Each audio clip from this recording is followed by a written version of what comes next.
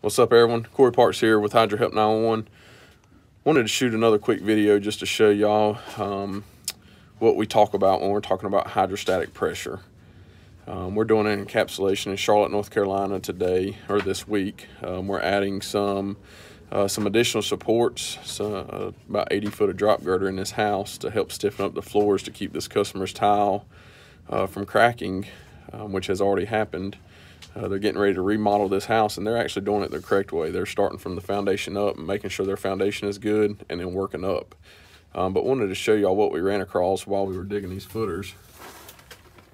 You see Mike over there digging. Say hello, Mike. Hello.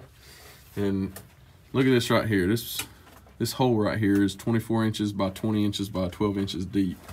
And look how much water is there. Um, there's no, no standing water throughout the crawl space. This happened when they were digging. And this is a prime example of what we talk about in the waterproofing industry of hydrostatic pressure. This is basically water pushing up from the ground into the crawl space. Um, this is not a, this is this is not water coming in from the outside. This is strictly the water table under the ground in this area rising and water pushing up. Um, so, you know, there's a lot of companies out there that will try to fix water issues on the outside. Um, if you're dealing with a true professional company, they'll, most of the time, they're going to recommend doing an interior drainage system. Not always, but most of the time. Um, and this is why, because an interior drainage system will manage the water that comes in through the walls as well as water that pushes up due to hydrostatic pressure. Um, so just wanted just wanted to point that out to you. Um, let y'all let y'all take a look at exactly what that is. I'll show you another footer we've dug here.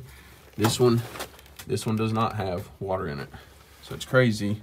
Water, no water.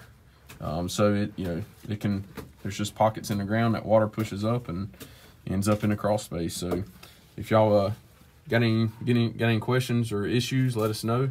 Uh, you can give us a call at 704-813-9554 or you can check us out online at hydrohelp911.com on Facebook or you can subscribe to our YouTube channel to see more of these videos. Y'all have a good day.